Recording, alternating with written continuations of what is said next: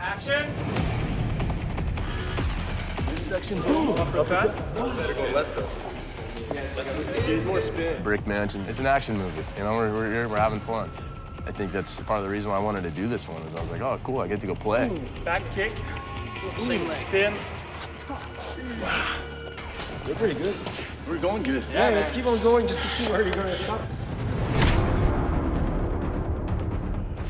I get to go face some physical challenges, jump off rooftops and race cars and do fun guy stuff. No!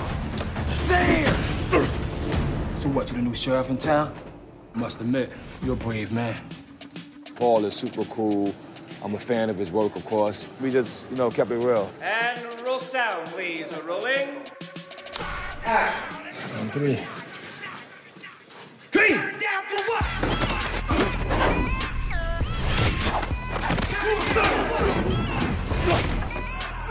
Today, David and I are working on this fight sequence. We're ripping through it. This is the fun stuff right here, for sure. I enjoy doing this stuff.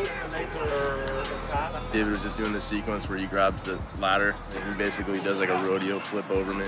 I tripped him up the first time. He almost landed on his head, but he managed to roll it out. I think we finally got it, which is a good thing. Just, you know, one of those days. Three, two, one, action.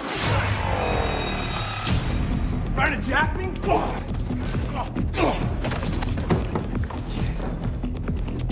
My man.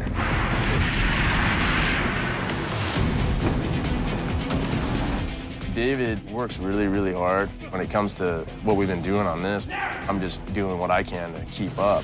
You know, make it funny while at the same time making it visually dynamic.